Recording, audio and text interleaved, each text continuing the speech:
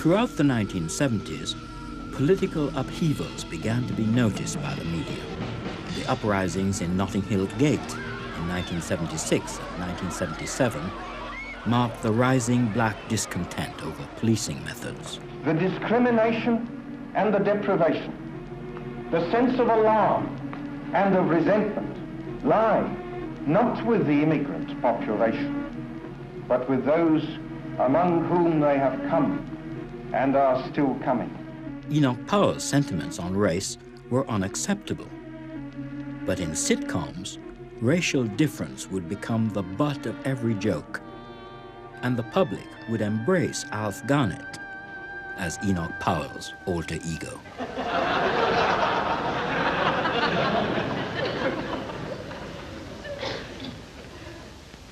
What's the coon doing here?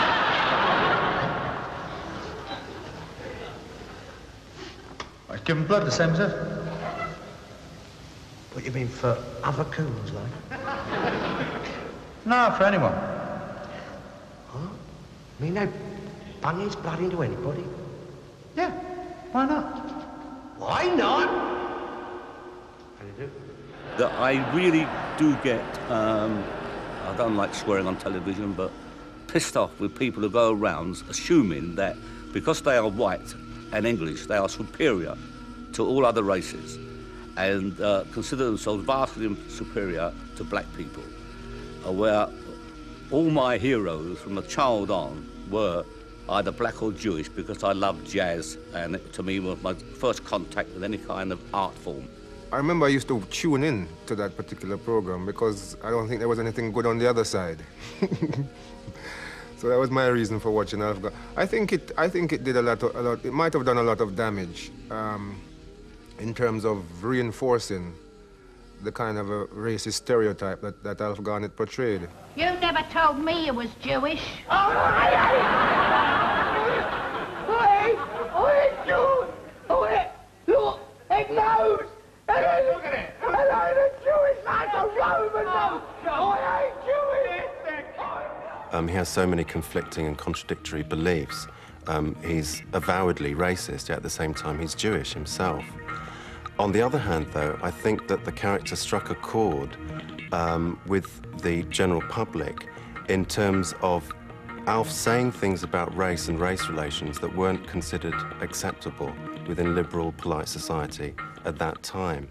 I don't want to have to be forced into creating a world that is not here, a fictional world where everything is perfect and which is not. All I'm concerned with is, is looking at the problems I've seen and, and making fun of things that I don't agree I with. I think sitcoms made racial difference the butt of the joke uh, because of prevalent assumption that being able to laugh about issues of race and race relations would have a beneficial effect in society at large. And that was one way in which the popularity of uh, Till Death Us Do Part and the Alf Garnett character uh, was explained. That uh, the presence of Alf Garnett as sort of Enoch Powell's alter ego would, um, despite appearances, have a sort of beneficial effect in terms of um, promoting harmonious race relations. Kurt, I understand, at a conference that Thames Television had at Brighton where they were looking for new program ideas, and I think someone suggested it might be a good idea to, to write a comedy show about what would happen if a black couple moved next door to you.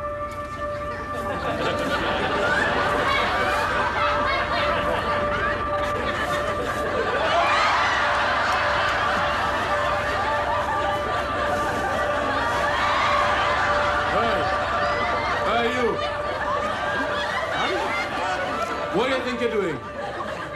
did nothing. You just threw this into my garden. I didn't throw anything. Well, it didn't fall from a low-flying Alsatian, eh? Oh, that? Well, uh, yes, well, it must have fallen off my shovel. Well, it just fell back. young black kids in the school. Um, for the first time on British television, they had some, they had a hero.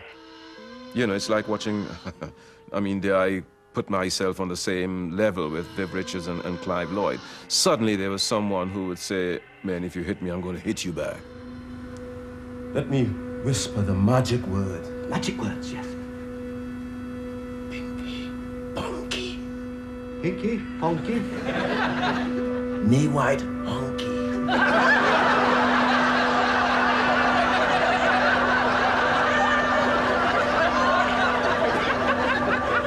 See?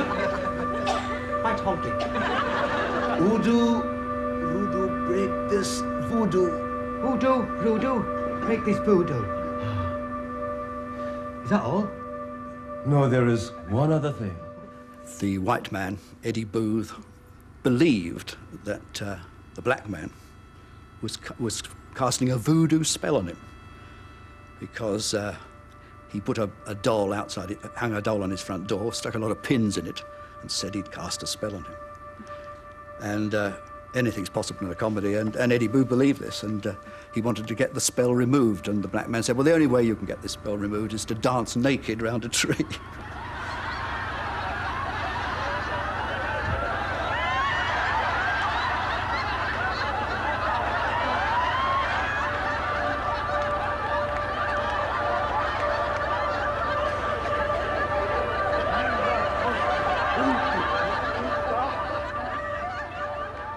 The whole matter of nignog and honky and all that rubbish really absolutely steamed us up. I mean, your friends started calling each other nignog and honky, which we banned in our home. We wouldn't have it. It was really, it went too far. And as for dancing around the, the tree trunk with all the paint on and doing that dance, we have good, nice African groups you can bring to do that kind of thing. Good evening, Mr. Brown. Oh, Ali. What have you been doing with yourself over the weekend? Oh, blimey. Saturday, I'm going to the Palace of Buckingham to see Her Majesty the Queen. But she was not in. Well, there were very few representations of black or Asian people on uh, British television, and when there were, it was very shocking or insulting um, because of the contempt, I think. Um, not that one wanted positive images, it one didn't want uh, to be hated quite so much. Then I'm going to Downing Street to see the Prime Minister, Mr. Colorgas. It doesn't so much provide a transparent representation of what black people find funny, uh, but places black people in a situation where they're there to aff- uh, confirm uh, certain expectations on the part of a predominantly white audience. Callaghan. Yes, please. He was also not in. Then I'm going to see the Nelson's tomb. Well, I hope he was in. Oh, no. I did not see him either. It hurt us because we had nothing comparative on the other side in real drama to show who we really were.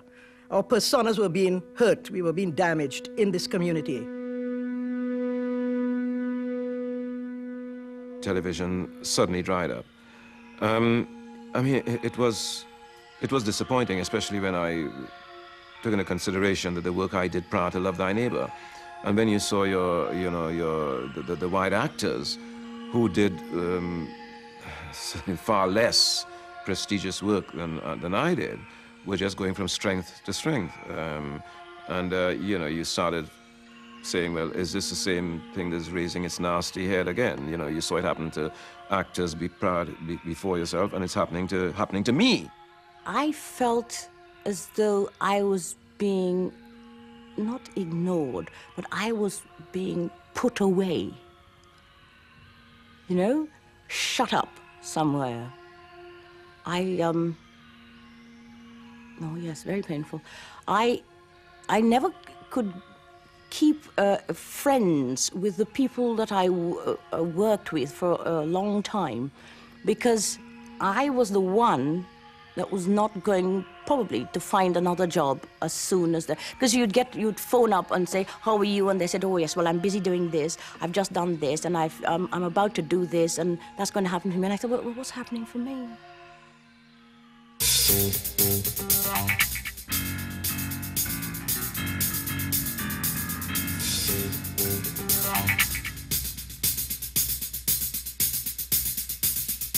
We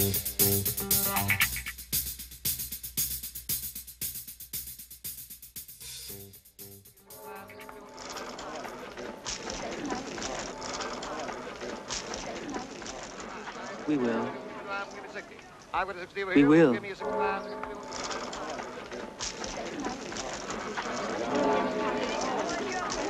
Hmm, good lines to that one. Look at his eyes. He's not even close to being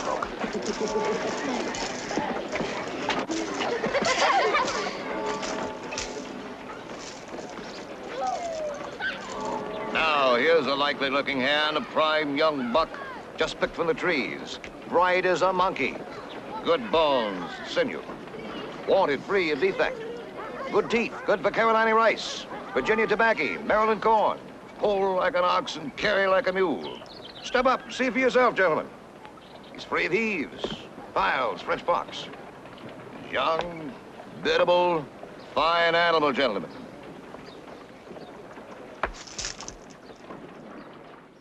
made a lot of people angry, angry, you know, and resentful about what whites had done to blacks.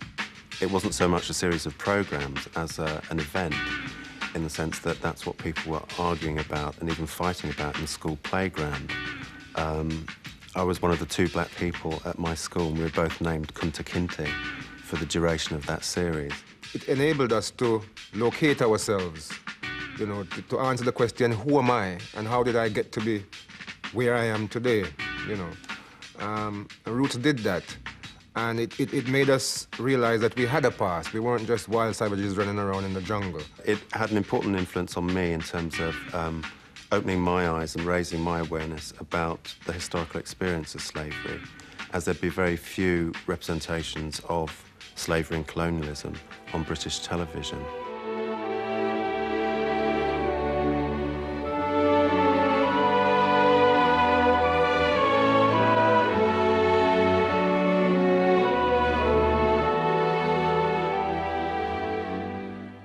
When I was at school, Jamaica was still a British colony, so we studied English history. The emancipation of slaves in 1834 was worth a paragraph or two, due to the humane efforts of William Wilberforce. But we were not told that the fall in the price of sugar had made slavery unprofitable, or the growth of a mixed society in the West Indies had made it unworkable. And we were not told, for obvious reasons, that black men fought for their own freedom.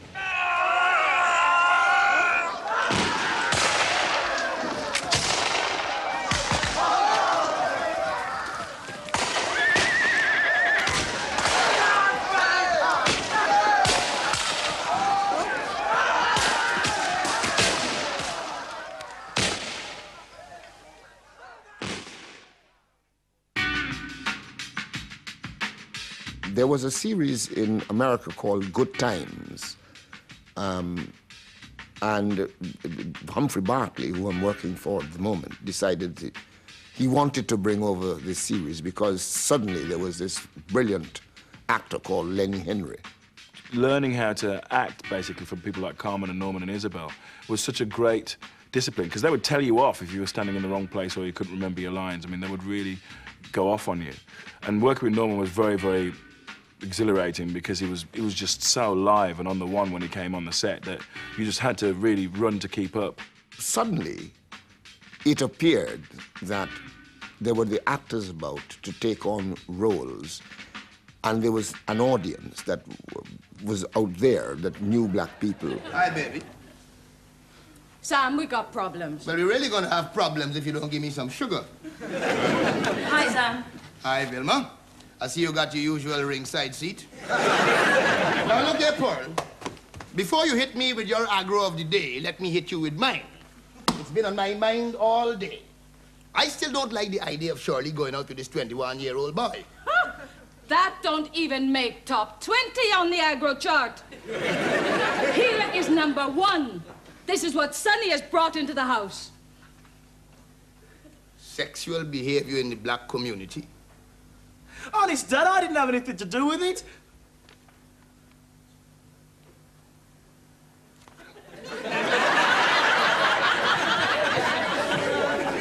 you son of a gun! Samuel! Ah, baby, you call this serious? A boy his age wanting to know about this kind of thing is the most normal thing in the world. I mean, he ain't a boy no more, he's a man, hallelujah! It was quite exciting because it was like the first time that I can remember actually sitting down and watching what I consider to be a black program. Other than that, I remember any time there would be a black person or, on television, my mother would come running in and say, quick, Brenda, there's a black person on television, because it was such a big deal. And there was some criticism that the show wasn't all about black people, wasn't being written by, by black, uh, a black writer, quite naturally. But at that time, the, I didn't find. Uh, I looked for black artists and uh, black writers. I'd been, I'd been to many of the thea- small theatres where black plays were being presented, and I'd met several black writers, um, many of whom now are very successful in the field. But at that time, I'd, they hadn't got the experience um, to do it. Empire Road,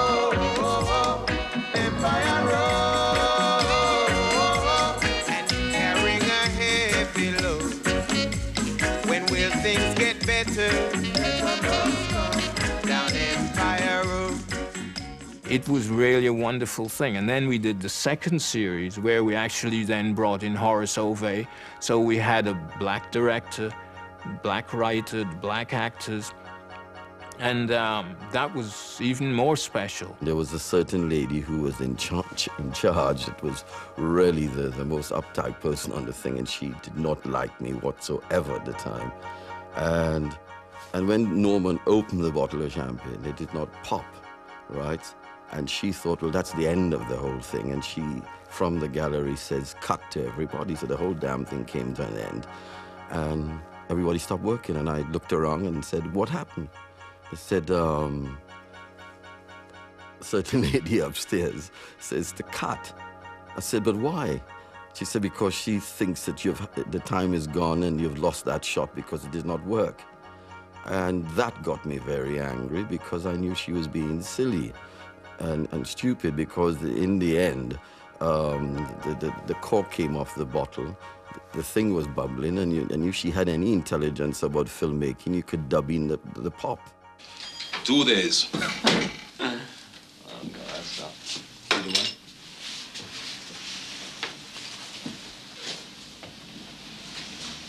Is your name Linton Samuels? Do I know you?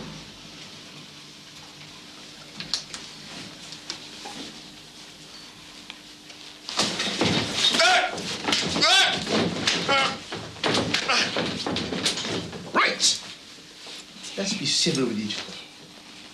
I'm speaking to you, Linton. A few days ago, you beat up my brother-in-law. Short fella. He's been known to stutter. You remember him? No. The man think we joking, Herbie. You remember him? Yeah, yeah. Oh, good. Now you know what a turkey feels like at Christmas time.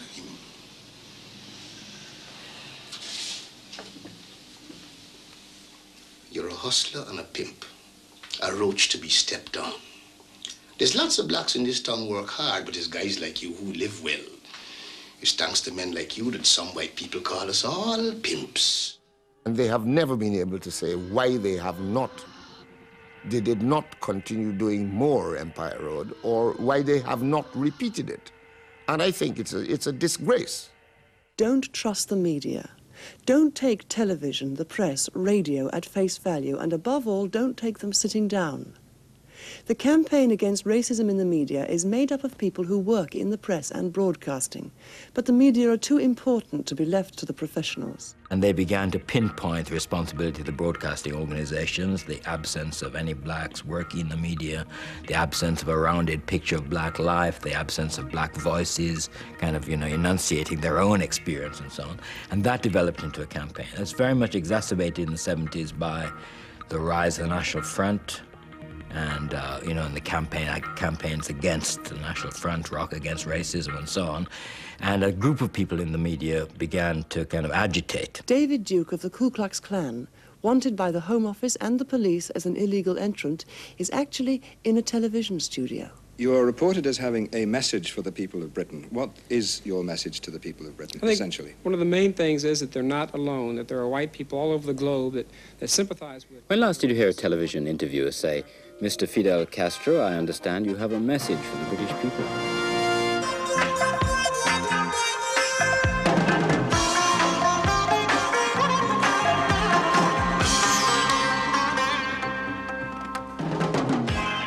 The way that London Weekend came to make Skin was really part of a much wider policy.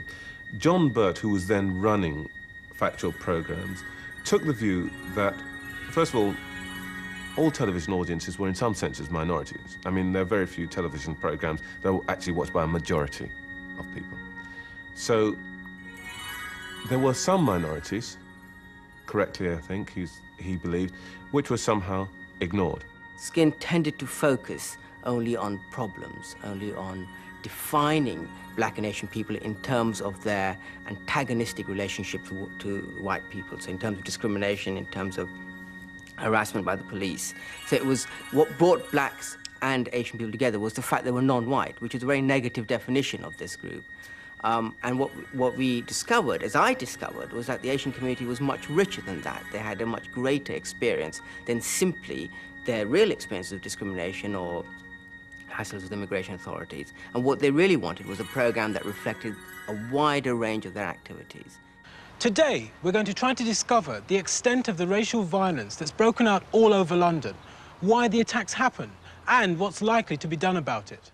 Monday night, three months ago, they came to the, our shop, the skinheads, about 100 of them. And they, they throw the bottles, uh, knife, stones to the our window, shop windows. We was trying to save the windows. They just come to make troubles. We've done nothing wrong to them.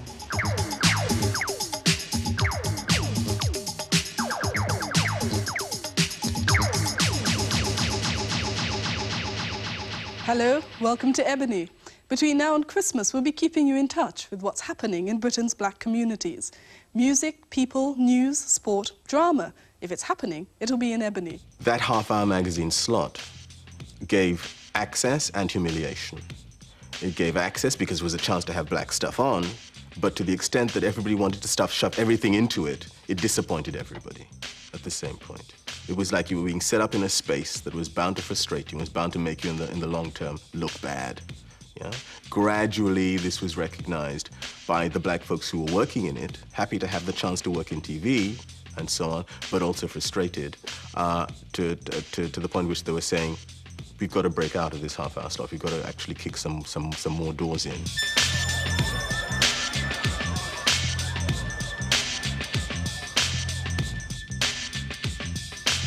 But for many people in Brixton, such massive sums pale into insignificance when compared to what all this has done to the already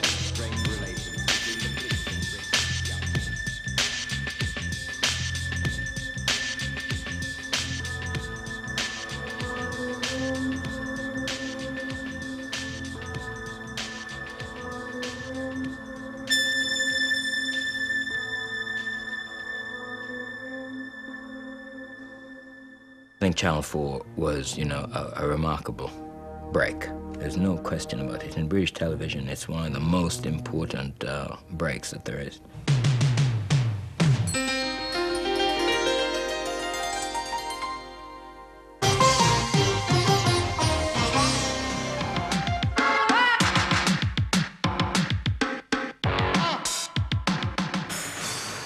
Operated himself and he hated his job. He was afraid on the streets for me. So he took it out on her and she couldn't bear it.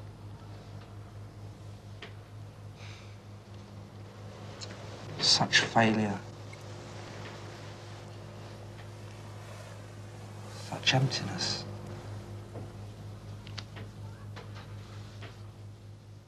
A lot of us who were involved in the Channel 4 campaign couldn't believe our eyes. we, designed this remit to represent uh, minority audiences of all kinds. It came into existence at the same moment as Thatcherism. And I still don't understand why it wasn't strangled in its bed. You know, everything else was, so why wasn't it strangled? But it wasn't. Uh, and I think there must have been, you know, there must have been as a result of a whole range of developments in the 70s, an awareness that really, you know, it was, there were too many excluded voices from mainstream television. We wanted those programs to be seen by everybody. It wasn't just a community, a, minority in the community talking to itself. It was supposed to be the minority in the community talking to all of us. But actually, I think that was, that was nonsense, really. The essence of the matter was giving people a chance to say something to each other. Good evening and welcome again to Eastern Eye.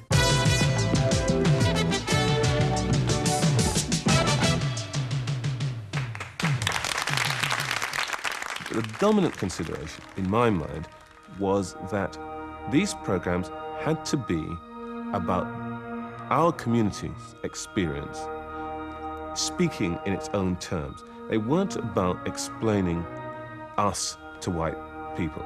They weren't about primarily our conflict, our relationship with white people. They were about our lives.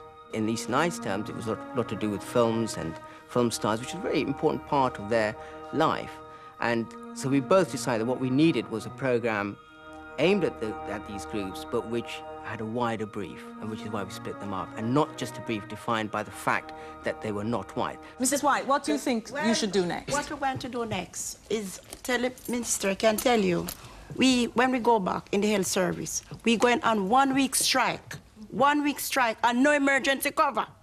Would you like that? Well, well, May I just say that, that if that is what you have in mind, Oh, yeah. don't, don't have regard to what I would say about that. Don't have regard to what Beverly or the other Yes. People in the audience would say about that. Just think about the patients. Thank you very much indeed. Thank you all. For a year of my tenancy in Channel 4, both Black on Black and Eastern Eye were run, funded better, and championed by me. Secondly, uh, the second notion was that they were extremely popular programs. That is not so. Their viewing figures in that series fell. What I think was a, a problem and a disaster, really, was the decision to take away a flagship, rock solid, black program that was there week in, week out, which people knew and could find in their week's schedule. Because what that then did was take away one of the things that black people don't have in this country an institution. It was my job now as second commissioning editor to try and build the black independent sector. In other words, take the money away from LWT and give it to somebody else, or give it to lots of other people. Most of the little companies that got a break have now folded up and disappeared, and and there are more white companies run, doing black things, and or the way they sh- uh, think it should be done, and um, I, it hasn't happened. She knows I'm in here talking to you. The fact is that Angel is expecting. What? She's heavy. Angel! It can't be. Your rabbits are contagious, oh, this boy. is just the kind of over-emotional behavior I was trying to avoid. now look, I'm going to bring her in here. She's been living in Brighton for these past few weeks. I might add, with the full knowledge of cousin Melba here. You never call her? She called me. And well, I just, just asked the guidance of the Lord, you know. And him say, Melba, go and buy yourself some Nigerian stamp. Go down to Africa House and buy some postcards. Fantastic, cousin Melba. So you came in every morning, hey, what's going on, what's going on? You looked at the script, said, yeah, okay, okay, no, no, no, no, don't like that, don't like that. You had control in what was going on up to a degree, and that's something as an actor you never have. You come in, you're employed, you do your lines, you go home. But you came in, you looked at the set, you went, rubbish, ain't having that, move that, move that, take that out. And that was nice. In terms of its representation of uh, black family life, it tended to reinforce the often prevalent assumption that black families are inherently disorganized um, due to lack of parental authority. And in that sense, perpetuated, I think, some of the less favorable images of black domesticity that first appeared in sitcoms like The Fosters in the mid 1970s. I want to do more with my life than just have children. And so do I. I'm not going to be a shop assistant forever. So, uh, what do you want to do? I've got to find out. I didn't want to be either this mad woman on the soapbox all the time or um, a person who just arrived in this country. I mean, there was just so many contradictions. The joy about being in a soap opera is, is having the sort of continuity and the time to develop something in, in almost a sort of linear way. But my character was so stop-start the whole time. Um, and it was because it just depend, depended on who was writing the script. You cannot just have black actors and hope the situation would be rectified because you're fighting a situation on your own. You can say that you personally do not think that this is right, and you, if you have enough time, the director will address it. But you're on a short space of time, and, soaps it goes like this, and you've got to move quickly. If you've got, and I don't mean a black director because I think it's horrible to have a black director or a black writer because you're still on your own. You need a couple, a couple black writers, a couple black directors. It will be put in perspective by the mere fact that they are black.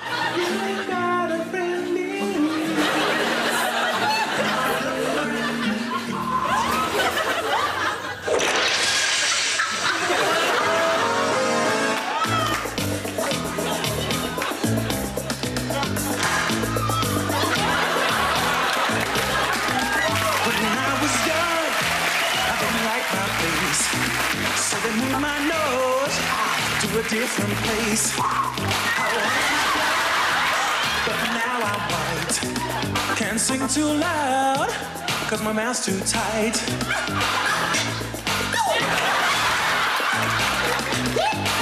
Every day I have surgery while I sit and play in my nursery. When I'm at home, all my time is spent in my Wendy house or my oxygen tent. I don't get on with humans, best friends are chimpanzee, not just a little crazy. I'm completely off my tree. First, I wanted to do six half-hour um, comedies where I played a different character each week, but it was decided, not by me, it was decided that that was too kind of risky, and people were used to seeing me in sketches, and um, you know maybe I should carry on doing sketches. Bearing in mind I've been doing sketches since 1981, really. So I went into another sketch show called the Lenny Henry Show, and this was a, this was a breakthrough, a huge breakthrough for me because it was like my own series and and plus the alternative comedy thing had happened, so I'd changed my style as a comedian. Three reported sightings of your car? Yeah. Being pushed into a canal, being hit by a steamroller, and one of it being driven off a cliff by a World War II Japanese fighter pilot. Some of my listeners are severely deranged, Winston. Yeah, I bet they're only joking, though. Well, two of them, maybe. Cameron, Hey, hey, hey, not so fast. he's talking to your brain, Winston. There's a geezer over there, reckons he's a friend of yours. He's expecting you to pay this for him. £38.75? I thought you said geezer, not coach pie. He's a, clearly an outspoken advocate um, working to support the practice of blacks within the industry as writers, as performers, and as technicians and directors in a range of different roles. And I think that he's been very, very forceful um, in, in, in developing that work and using the power that his unique position uh, has, uh, has given him to, to develop that struggle inside the industry.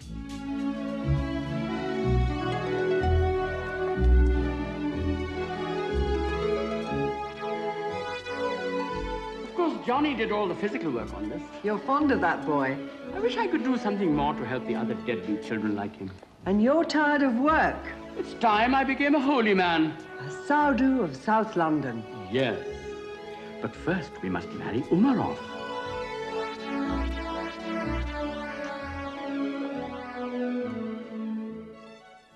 Well, I just wanted to write about what, what life seemed to be like around me without the constraints of, any, of any, anybody saying we must be represented positively or whatever. Um, and it was a time when it came out of, I suppose, my thinking about the 70s, which was to do with the fragmentation on the left into the gay movement, into the women's movement, into the black movements, and so on. And those elements, I think, seeped into the laundrette. See you later, everyone. So, Maggie, is this the place you're going to? This paradise garage? Don't tell me you're into all of that nastiness. What nastiness is that? This gayness thing. Who's introducing you to those places? It's the club Gary Louise and I go to. I bet Comrade Tony said something. I can just imagine what you've been saying about Gary. And when he comes, it's, what happened, Gary, right? You hypocrite. Listen, Mags, Dad just asked me Don't what kind bother to tell me. I can guess. Anyway, I haven't got time to listen to this. Come on, then. I think the fact that black filmmaking in the 1980s was able to address issues of race, gender, and sexuality in a way that mainstream television was not is an interesting reflection of the very ambiguous relationship between cinema and television in Britain. Um, I think there are a whole range of uh, cultural, moral, and ethical um, assumptions that regulate what we see and what we don't see on television. And in particular, when we think about representations of black people in drama, we tend to see a very narrowly problem-oriented discourse. Tamara Namkia, hi. What? I'm sorry, I'm afraid I don't speak Indian. Superintendent साहब का जवाब दो हराम जाते सुना नहीं जल्दी जवाब दो Look here, doesn't this man understand? It's no use talking Indian at me. Sister Ludmilla, is there a room where we can question this man? Question? What for? Mr. Kumar, these are the police. They are looking for someone. It is their duty to question anyone we cannot vouch for. And last night, we found you in a ditch. Now, what is so terrible in that? Except hangover. Come, to the office. That's your name? Kumar? No, but it'll do.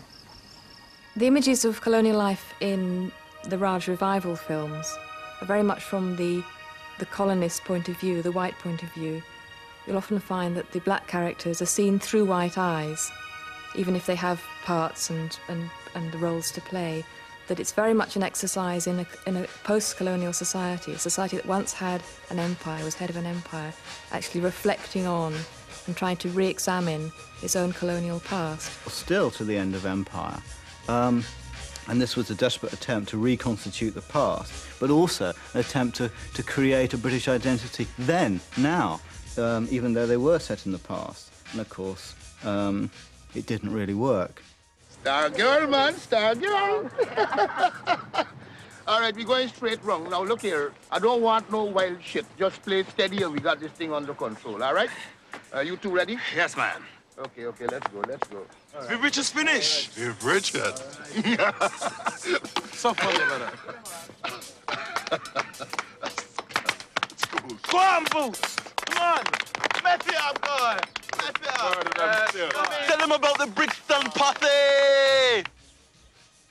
films like uh, My Beautiful Laundrette, um, Sammy and Rosie Get Laid, or um, Playing Away, which each proposed a version of Britishness, British culture, and what it meant um, to be part of a British national identity uh, that fully accepted the transformations that black culture had brought about in the post-war period. I think Playing Away uh, dramatises that in terms of the cricket game as a metaphor um, for the post-colonial situation in which Britain found itself in. I got interested in, in, in um, playing away for exactly that, the metaphor. And that using cricket, as you well know, cricket is the one game that the West Indians are very proud of and very good at. And it's the one game that they know that they can beat the old masters at.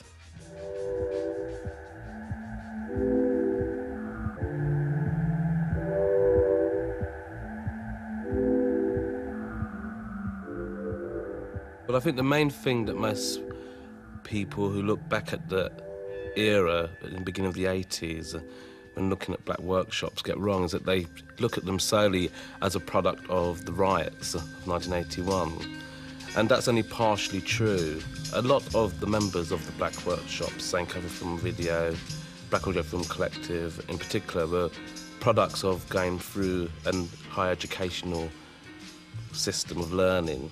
We felt that that necessarily gave us the, the possibilities for raising questions which were up until that point unacceptable questions to raise within black circles. You know, we felt that given the fact that we'd armed ourselves with these theories and these ways of looking at the world, we could literally come out and wash dirty linen, you know. Uh, I'm not sure how well we did when it came to that, but that was certainly the impulse. The impulse was to, to come out and function largely as a sort of dissident voice, you know, both within and without the black communities. Black filmmaking has just kind of imposed itself as an important thing in the history of British cinema. That is, I think, entirely due to that intervention, to create just two or three independent spaces where people could define their own terms of working, etc. I think the criterion that the, that the workshops had of be, both trying to give people experience of working in the media, of breaking through to the mainstream, but of also looking outside at the other audiences, you know, at the films that might reflect their life and be used in discussions outside. I think that double requirement has been very important for the workshop. It's about time we had our own child, our own Master George Hammond Banner Bart.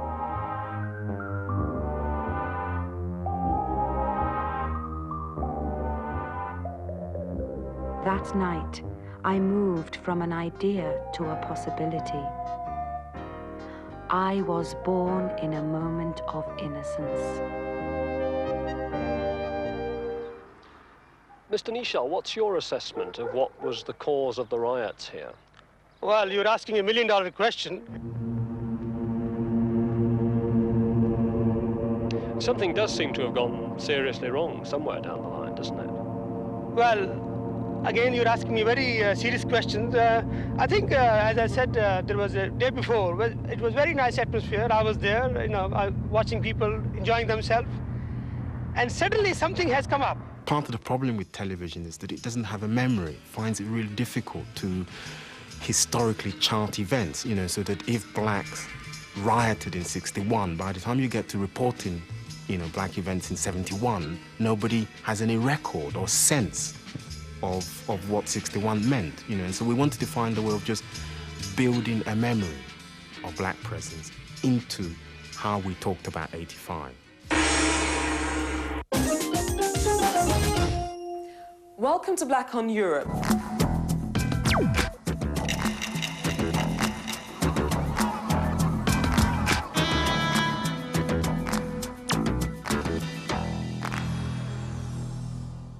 Dozens and dozens of programs kind of trying to sort of look at and show to the wider public different aspects of immigrant life in Britain.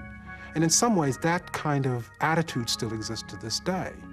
And this need to kind of use this, you know, television, use this medium simply to inform the wider public of these new aspects of British life in Britain. Tonight on Bandung File, we hear the voices of Asian women who describe how Islam affects their lives in this country. If we look at how um, things have developed since the uprising, say in the 1980s, we can see lots and lots of factual programs, but you don't really see black people being having a chance to make um, one-off dramas or um, full sort of soap operas or things like that. So I think it's like seeing black people and especially black women being given the opportunity to really tell their stories in fictional ways. If you do documentary, there's always this slightly hip idea that if you're onto a black case, you know, you're onto the living case, the real case, you know, the city case. Um, and I think people on the whole seemed okay when it came to documentaries. There was always a problem with, with drama because when we talked about drama, we were, we were not just asking for the right to, to exist on television we were also asking for the right to change the rules of television.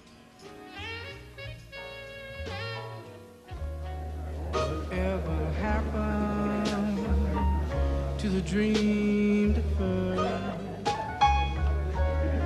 Whatever happened to the dream deferred? Things haven't changed much. Still find power in our words.